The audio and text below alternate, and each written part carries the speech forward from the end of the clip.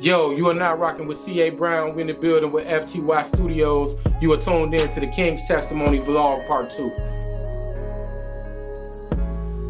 You know, when I got the news about uh, King Von, you know, it touched me in a way. Just because we just lost uh, another Chicago rapper who was his uh, quote unquote op, uh, FBG Duck. And you know, I enjoyed the music of both of those guys. So it really touched me to see them both lose their lives in such an untimely way and in such a violent way. You know, it, it touched me. It, it hurt me. I liked Von. Von grew on me a lot. You know, I didn't I didn't really uh begin following him till later just because I don't really tune in to the drill. It's drill is not really uh what I listen to, you know. But uh, I seen I seen a lot of uh, potential in Von. I think he was on his way. I think it's uh, distasteful to say the least. You know, the lack of respect for human life that uh, the young generation has is very uh, disheartening. You know, when I watch it, you know, it's, it's almost sickening to me. You know, I, I, I hate it. Well, I like a lot. I like everybody, you know, coming out of Chicago. But if I had to pick one, my go-to guy, I like Ty Money. Uh, Ty Money is very uh, well-rounded. You know, I've had the, I've been blessed enough to work with him more than one time. You know, so I've seen his work ethic up and close and personal. You know, his his wordplay, his delivery. You know, he's just, you know, he's just an all-around cat. The thing I like the most about Ty Money is because he's like a hybrid. He's like uh, he he has lyrics like an artist from my era, but he also has the the young. He he, he caters to, to to the young stuff too. You know, he he can he can blend in and mix in good with them with the auto tune and all that type of stuff. So I feel like he's just perfectly rounded. Uh, if I had a chance to sit down with them uh, first of all, I would tell them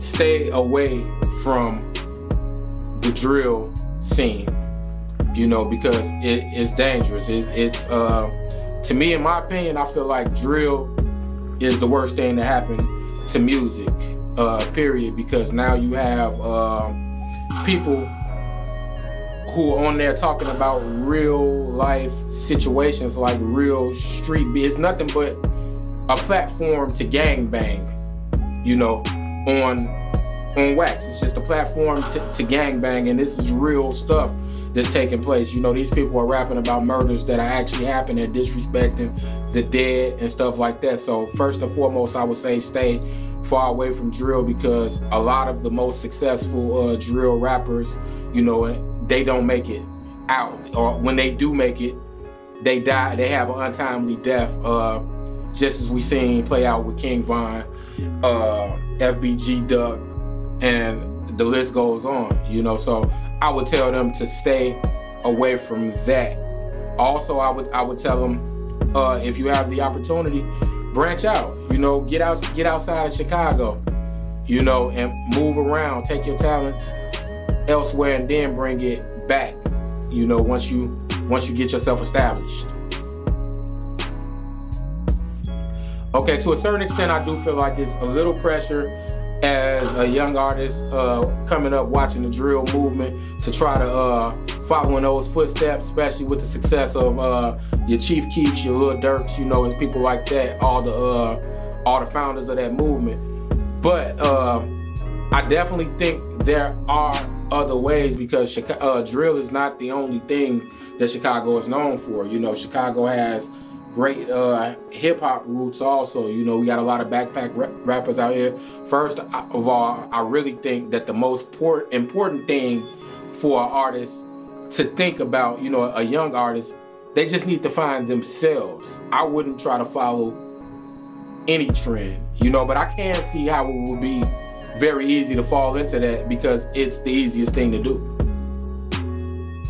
Uh, abso absolutely. You know, uh, growing up, you know, as a young artist, I I definitely felt the need to uh, get validations from the streets. You know, so all of my music was uh had that had street content in it. You know, and uh I just felt like it, it definitely I definitely was putting the wrong energy into the universe. You know, and I and I do feel like because of that, I never reached the level that I was trying to reach because that never was what I was meant to do. You know, my voice is to be used for something else. You know, I have a higher purpose. So, you know, I feel like that content and catering to that small audience that I was trying to satisfy, which is the streets, I feel like that put a ceiling on me as an artist, you know?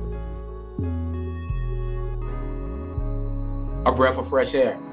You know, I plan on bringing a lot of heartfelt vibes to the music. I plan on restoring the soul, putting the soul back into the music. You know, everything that I'm saying is uh, about real life experiences. You know, it's uh, it's no glorification of uh, any of the wrong things. You know, I'm I'm I'm sharing trials and tribulations that I went through and had to overcome as a man. I'm I'm giving you uh, I'm bringing you into my full life from being a father uh, from being a husband, from being uh, involved in the streets, the, da the downfall, the pitfalls that come along with it, you know. So it's just like right now, I'm trying to win. I'm trying to win the hearts of the people uh, with this project. You know, uh, King's testimony is a testimony of a king and his journey to get to where he's at to be a king, his journey to